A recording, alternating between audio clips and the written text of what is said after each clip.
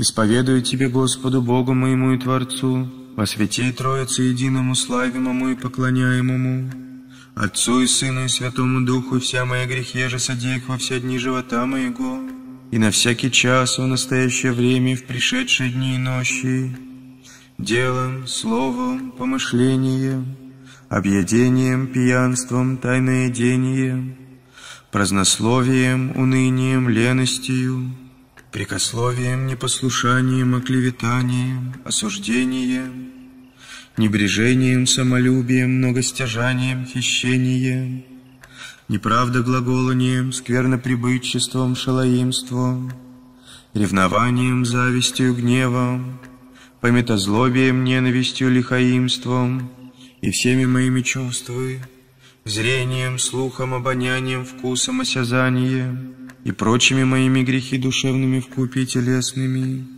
Ими же Тебе, Бога моего и Творца, прогневах и ближнего моего неправдова. А сих, жалея винно себе, Тебе, Богу моему, представляю, и имея волю каетеся. Точью, Господи Боже мой, помози мне со слезами смиренно молю Тебя.